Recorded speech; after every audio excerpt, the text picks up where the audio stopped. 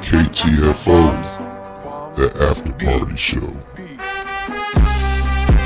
What's up, hard hips? Chuck PCville's finest here. The KTFO After Party Show for Canelo versus Jermell Charlo. I'ma just be honest with you, hard hitters. Jermell went out here and laid an egg. Jermell Charlo looked like he didn't even belong in the ring with Canelo Alvarez. Jermell Charlo did not get Canelo's respect like I wanted him to. Every time he jabbed at Canelo, Canelo just had Jermell Charlo on his back foot the whole night. He dropped Jermell in the seventh round with a straight right. Jermell took a knee. He thought about it for a little bit.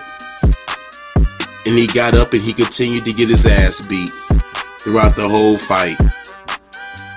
Just on the back foot. Canelo made it look way too easy, hard hitters, and he cruises right to a unanimous decision victory.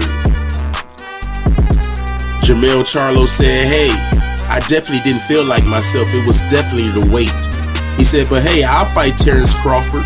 But right after he says that in the same breath, he continues to play matchmaker and says, Bud, go ahead and fight Errol Spence, and then I'll give you a chance.